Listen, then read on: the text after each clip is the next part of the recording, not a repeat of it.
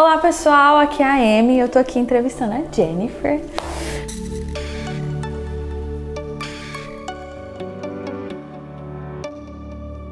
Essa mulher é incrível, ela é uma grande amiga para mim, uma pessoa que eu amo muito e que ela tem me instigado a perseverar tanto no Senhor. Ela carrega uma mensagem de perseverança. Eu admiro ela muito como amiga, como mãe, como esposa. E eu estou muito feliz de estar aqui falando com vocês um pouquinho sobre é, perseverança. A gente está no meio da conferência do Anthem 2019, então se você está vendo esse vídeo depois, não tem problema, porque a gente vai estar falando sobre perseverança com vocês hoje. A gente está no meio da conferência do Anthem. Muitas pessoas recebem palavras proféticas e saem daqui com expectativas delas acontecerem. O que fazer quando elas não, elas, é, não acontecem rapidamente? Como perseverar e manter o nosso coração é, bem diante do Senhor, sem frustração de não ver as promessas acontecendo tão rápido? -hmm. That's a really good question. Uh, and it's a practical question because it's something that everyone faces. Right. You receive a prophetic word and you're waiting for it, but often there's a delay. So the first thing I'd say is there's often a delay. And that's what we don't expect. We expect we receive a prophetic word and it's going to be accomplished tomorrow. Mm-hmm. And then when it's not, we don't know what to do. We wonder, was it really a prophetic word? Did I do something to mess up the process? And the, truth is that we become purified in the process of waiting. That's what faith is. When we contend for something that we believe, but we haven't seen it, that's called faith. And so, I mean, I have honestly prophetic words that I received at 16 years old. I'm 50. I'm 50, people, but I still believe. I still know there's coming a day where those promises that were spoken over me are going to come to pass. Amen. And in the process, I hold on to Jesus, I cling to Him, and I remind myself who He is and what He's like, and He gives me the perspective I need to stay steady.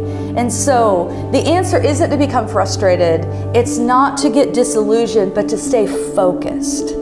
And so, but not focused on a prophetic word, so to speak, focused on Jesus. Mm-hmm. Because he is this the spirit of prophecy is Jesus. He is the testimony of Jesus is prophecy. Right. And when we get to know Jesus, it's a it's a situation where we grow in the knowledge of God even in the waiting process, even in the delay. But I remember I would have to remind myself. And so do practical things. After the conference, or anytime you receive a prophetic word, write it down, record it. Maybe every six months, read it, and have an expectant heart because the Lord spoke because He actually wants to accomplish that. And it may take a long time for the fulfillment, but it doesn't mean it's not coming. And so to stay steady in that process, and I think of Joseph, my goodness, he, he had a dream at 17. The ultimate fulfillment of that dream wasn't until he was 41 years old. Mm-hmm. That's a long time. That's a long time. David, anointed to be the king, probably around 13 years old, wasn't anointed king until he was 30. A long time. So I'm not saying it's going to be a long time, but if it is a long time, you're in good company. The Bible is filled with people just like you who still believed and didn't give up. So don't quit. Find the Lord in the midst of it, but build your expectation by reminding yourself of what He's spoken. If you don't quit, you win. You win. That's it, baby. you win. Então, pegando esse gancho é, sobre perseverar, você poderia dividir com a gente algumas histórias onde você teve que perseverar em fidelidade ao Senhor, confiando nele em meio às dificuldades? Hum. My goodness, Emi, what a question. Um, th- this is a, a question that we're all going to have to face, and we're all going to have our own story to tell. And I love that. I love how the Lord gives us opportunities to stay faithful in the midst of difficulty. Mm-hmm. You know, Jesus was faithful until the end. Right. I think about him, the King of Kings, the creator of the universe but yet came to earth, subjected himself to human experience, but he actually made humans. and then allowed humans to mistreat him. It, I mean, already we have an example of humility and of faithfulness in Jesus. So the first thing I would say is, is we look to him. In, in your struggle, look to Jesus. He's the author, he's the perfecter, he's the one who knows what you're going through, he's the one writing your story. And that, that's just helpful for me. And, and I think of Psalm 139 that even before I breathed my first breath, all the days that were written about me were in a book. Mm-hmm. So there's, there's a story that I need to step into.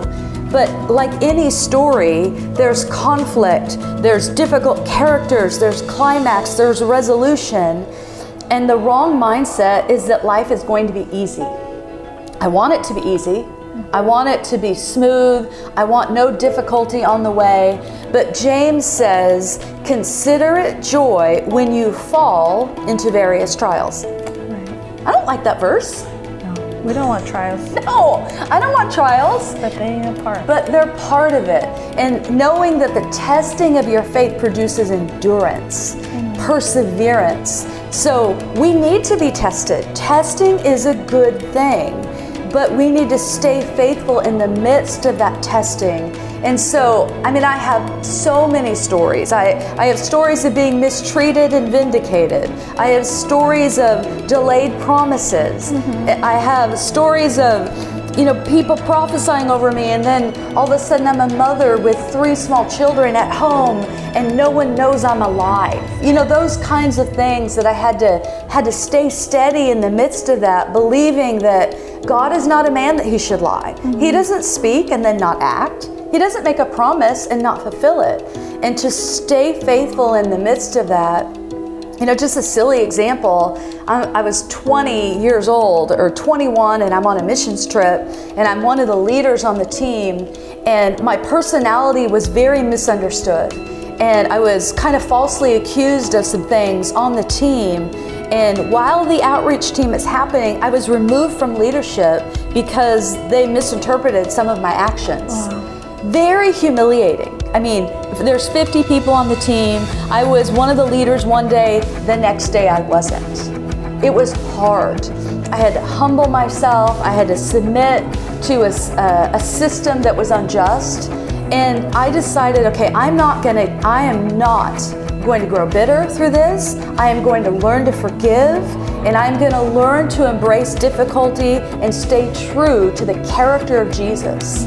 17 years later, crazy, 17 years later, um, one of the, the people that mistreated me had a dream, and the Lord confronted the person in the dream and told them they needed to apologize to me. They wrote me a three page letter of apology, repenting for how they treated me 17 years after the fact.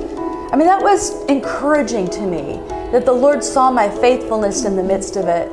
The and humility. So, yeah, and humility. And it's humility is a beautiful word, but so hard to do and so hard to live.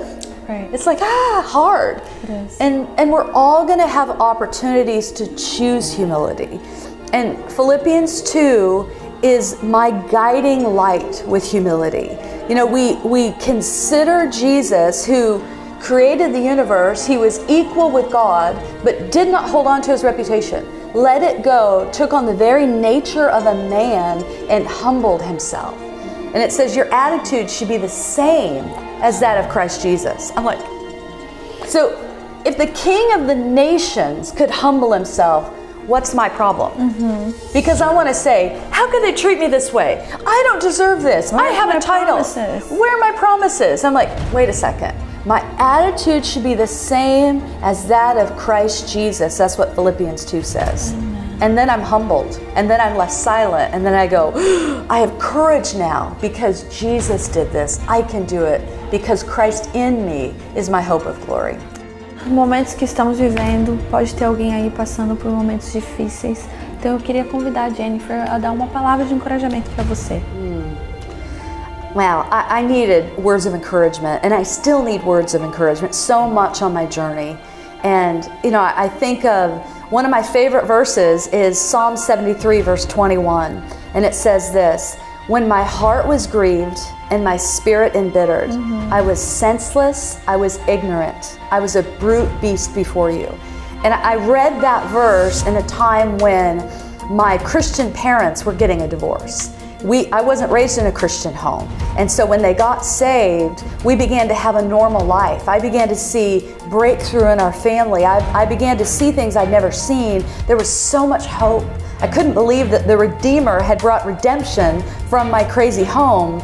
And then my Christian parents now are getting a divorce. I was like, what? How can it be? And, and I remember saying, God, where are you in the midst of that? And that's when I found that verse because I felt grieved. I felt embittered. I was mad. I remember throwing my Bible against the wall and saying, Are the promises true? Are you really who you say you are? And just crying and weeping and in pain and confused. And so I read this verse. I'm like, I am that. I'm senseless. I'm ignorant. I felt like a brute beast before him. But the next part of the verse is amazing. It says, Yet I am always with you. I'm like, whoa, God, you're here now. He's with you in the midst of your pain. He's right there with you. He's not left you alone. Mm-hmm. He's right there with you. And then the next part of the verse says, So I'm an animal, I'm wild, I'm mad, I'm angry, yet He's always with me. And it says, Afterward, He will guide me by His right hand into His presence. Whom have I in heaven but you? The earth has nothing I desire beside you. My heart and my flesh may fail, but God, I love that, is the strength of my life. I'm like. So I learned in that moment I could be honest with God. He didn't want me to pretend. He didn't want me to present the way I thought He wanted me to act.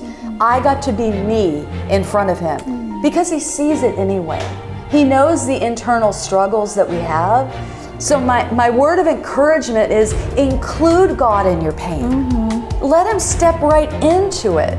Find out that He's watching, He's near, He's close. He wants to talk to you. To me, that's intimacy. Let him into your mess. Let him into the ugly parts of your life. Let him see every aspect. Let him see the anger, but do it in the palm of his hand. Struggle, but in the palm of God's hand. And I found the loyalty of God in the midst of my pain. And I, it, it ruined me to pretend. I couldn't pretend anymore. It was like, God sees it. He knows I'm a mess. I'm just going to be transparent before God. And when you're transparent before God, you can be transparent before men. And that's so freeing. Because who cares what they think? Mm-hmm. God already knows and He still likes me. You know what I mean? It changes everything. And to know that He's there in the hard time, it's like, oh, I can take a deep breath. I'm not alone in the struggle. And tears come in the, I mean, tears may last for a night, but joy comes in the morning. Knowing there's healing around the corner is helpful. Essa é uma palavra de encorajamento para você, que Deus possa estar te guiando, te dando perseverança. E nós ficamos por aqui com essa entrevista sobre perseverar no Senhor e continue nos seguindo. Deus abençoe vocês.